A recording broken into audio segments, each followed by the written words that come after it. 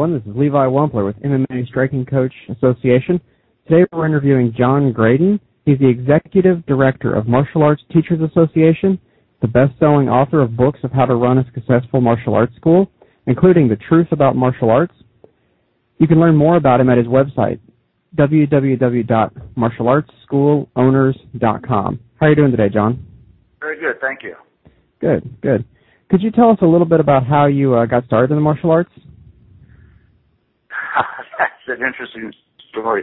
Actually, I, it, it's a little bit odd, and and bear with me for just a second. Here's the story. My father gave me a spanking when I was six years old and sent me upstairs. But later in the evening, he invited me to come back down to watch TV with him, and I sat down and I watched this show called The Green Hornet. And the Green mm-hmm. Hornet was a superhero, and his sidekick was Bruce Lee.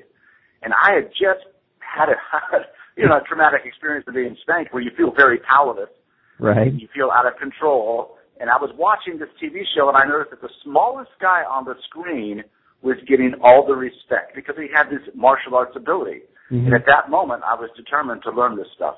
And it wasn't until 1974, when I was 14, that I actually started into a martial arts school. I visited the school with my father. He would not pay for the lessons because I quit football the year before, and he thought I'd quit this as well. It was $25 a month for a year contract.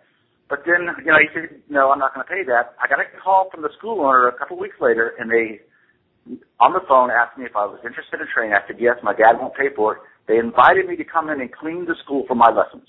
I was the original wax on, wax off kid, karate kid, back in 1974, and it really, truly changed my life forever and ever. So I'm eternally grateful to martial arts.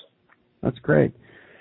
It's a good story. Uh, now you've done a lot with consulting and teaching people how to run their martial arts schools. Could you tell us a little bit about maybe the best way to run your martial arts classes just to keep students interested? I think you've got to start with some very simple questions. Question number one why am I doing this? What is the point? Do I love the martial arts? Am I just trying to make money? Do I want to make good money doing what I love to do? And that really is the American dream. So in order to reach people and help them with the martial arts, you have to be good at marketing. You have to understand that the business you're in is sales and marketing. It's not a martial arts business. That's the end product. But the process of getting more people through that door, more people into your classroom, you're going to have a stronger impact in your community. So there's really a very altruistic vision and motivation to becoming very good at the business. If you love the arts and you think it's going to help people, then help as many people as possible by becoming a very good marketer for your school. And if we're talking specifically about MMA schools, the next step is to define, clearly define who is your ideal student. How old are they? Is there a gender? What kind of work do they do? What kind of background do they have? What's their income level? You really need to define both the demographics, in other words, where they live and their age, like I was just describing, and also the psychographics. And the psychographics is a fairly recent development in the world of mar- marketing, and it's essentially recognizing that people are attracted to certain types of feelings that they have, things that they value. Mm-hmm. For instance, the biggest psychographic group in America is called the belongers. Now, the belonger likes to belong. They like to belong to church. They like to belong to the union. They like to do things in groups. They don't like being singled out. In a sense, it's the blue collar working man mentality, strong family value mentality, and that's a great market for a martial arts school.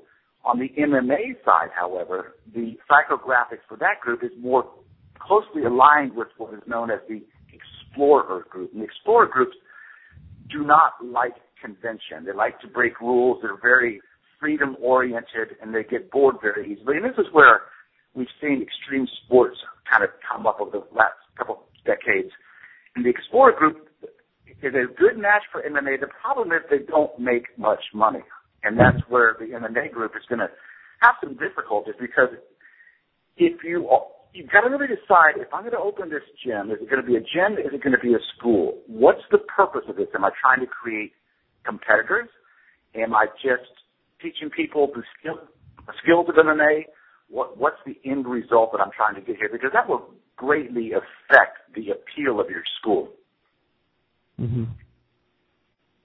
No, that's that's really good information. Uh, no, this one's kind of for me too. A few years back, when I first started martial arts, I made a lot of mistakes. I was wondering what you think are the biggest mistakes most new instructors make when they're trying to uh, set up their yeah, this, yeah, that's a great question, about especially for MMA guys because they're so passionate about what they're doing. They're doing. Here's what I, I, I coined this term over 20 years ago, and it's called black belt eyes. You, as a veteran martial artist or as an enthused martial, martial artist, have to understand that you represent about one and a half percent of the population. Mm-hmm. We see things differently. We do things that most people wouldn't do. That's why we, we were able to endure and become black belts. So it's common for someone who's going to open a school to then create the school that they would like to attend. The problem is, again, only one to one and a half percent of the population share those values. So you have to look at your school through market eyes. You have to look at the school through the eyes of the general public who really often don't think about martial arts. They don't desire to do martial arts. They think martial arts is just kind of weird because it is sometimes kind of dorky. and MMA is much like NFL football. It may be fun to watch, but it doesn't mean I want to get out there and do it. Mm-hmm. So it's the the common mistake of designing ads that show how tough you are or how deadly you can become are typically big turnoff to schools, uh, to prospective um, students.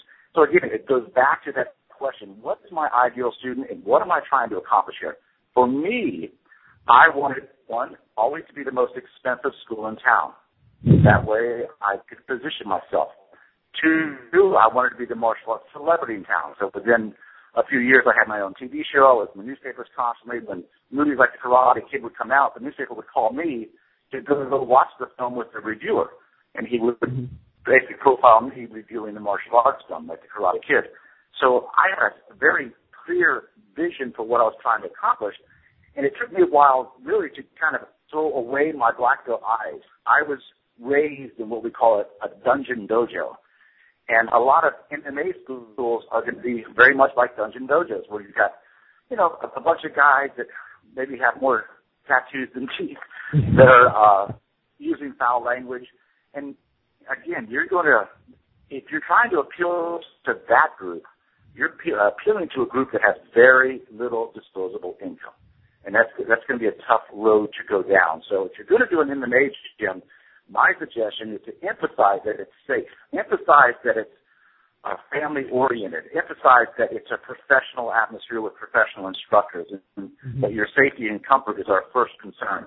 Because a lot of guys are coming out with ads with barbed wire in the as the border of the ad and blood dripping off the letters and and and talking about um, you know, House of Pain, mm-hmm. House of. Discipline. These are some of the titles of schools that I've actually seen.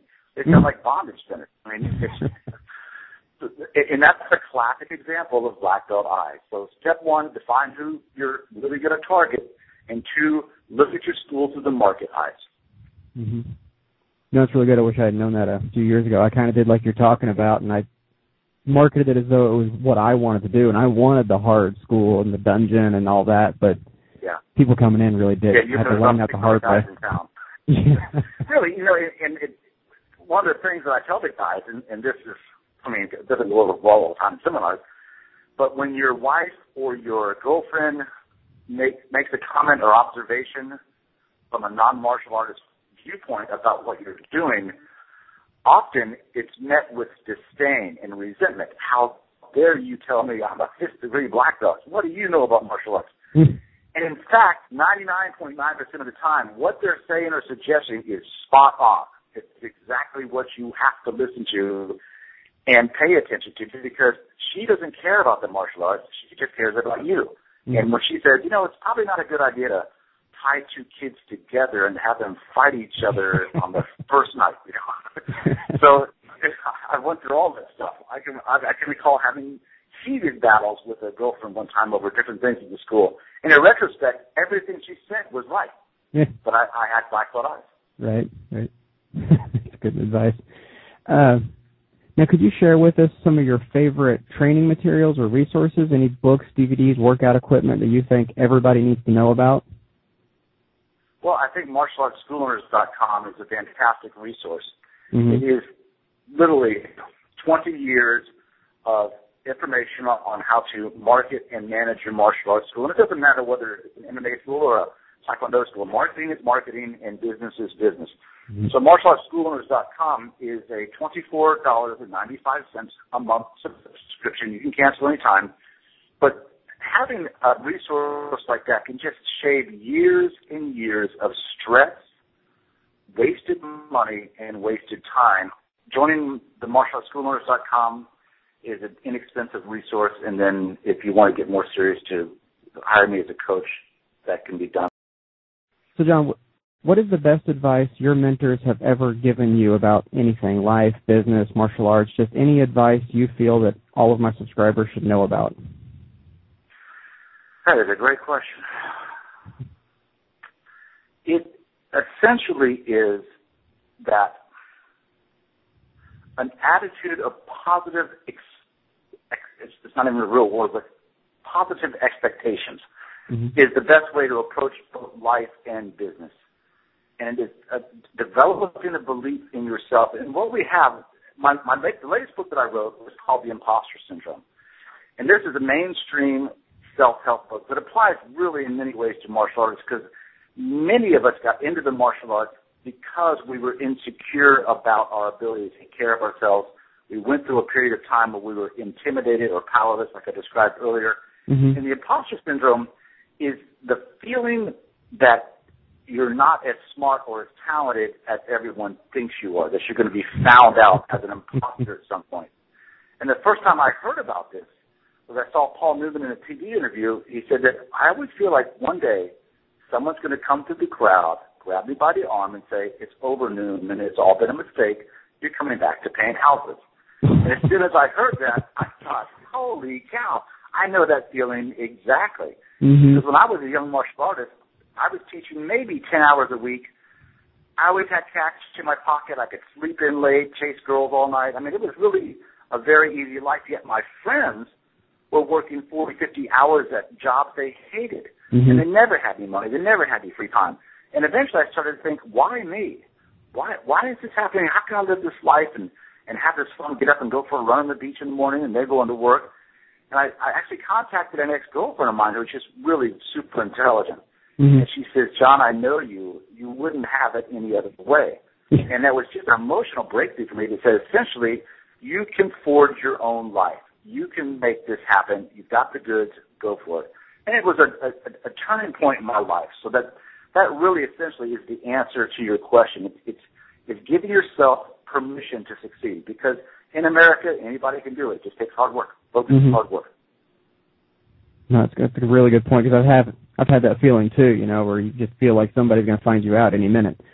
Isn't that interesting? when I I wrote the book, I've done a gazillion interviews even uh, with Dr. Oz from the Oprah show, I did his show, and on the air I said, I mean, I'm sure the first time you took a scalpel to a human being, you thought, and he finished the sentence for me. He goes, "How can they trust me to do this?" I thought, wow, even Dr. Oz has the uh, imposter syndrome to some degree. So the response typically is what I just received from you. It's that kind of like, oh, it's not just me. Mm-hmm for martial artists, we you know we're a very unique bunch, and I think I have a, a pretty good handle on on what motivates martial arts, and, and that's why I wrote the book, The Imposter Syndrome. So that's essentially it. That whole idea of getting permission to succeed is really crucial because there's a lot of countries. You know, when we're kids here in America, adults will say, "Well, what do you want to be when you grow up?" There are a lot of countries where that question's not asked because there's no choice. You're going to grow up to be a farm worker. You're going to grow up in your caste. You'll never get outside of your level of society. So, and we take that for granted here in the states, but that's not the case. That's why you're seeing so many so many revolutions in the Middle East right now.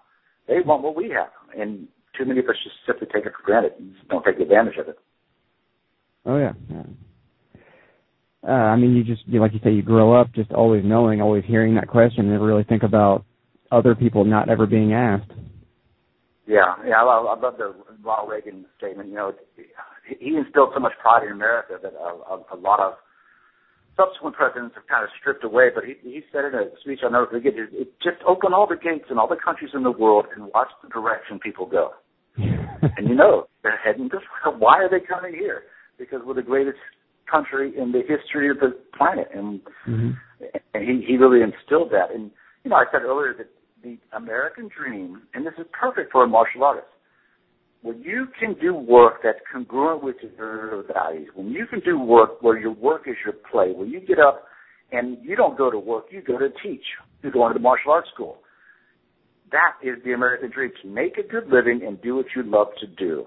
And with most martial artists, they, they discount the business side as being selling out, when in fact, the better you are at the business of martial arts, the more people you're going to reach and teach the martial arts too. Hmm So do you want to help 50 people or would you rather help 500 people with the martial arts? Most schools end up at the 50 level because they don't execute on the business side. And then they, they say, well, we're not commercial. No, it has nothing to do with being commercial. You're just failing a lot of people you could be helping. It's very simple. hmm And they'll say, well, I've got people that drive 45 minutes to my school. That's nice. Everybody does. It's the Mhm. people that are five miles away that aren't coming to your school. That's what we have to get. All right. Well, you've made some really good points today. I've really enjoyed speaking with you. My Uh, pleasure.